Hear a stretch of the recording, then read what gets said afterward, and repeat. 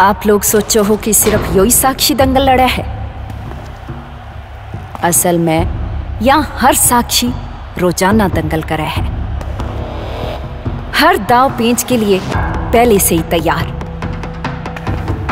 पैरों में गजब की फुर्ती। पैंतरों में लगातार बदलाव करती। आँख हमेशा अपने लक्ष्य पे कड़ी।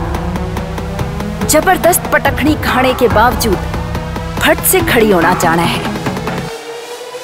हर चाल को धूल चटा दे वह हिम्मत से अमीसा काम लेने वाली। या हर रोज हर साक्षी अव्वल आवे है।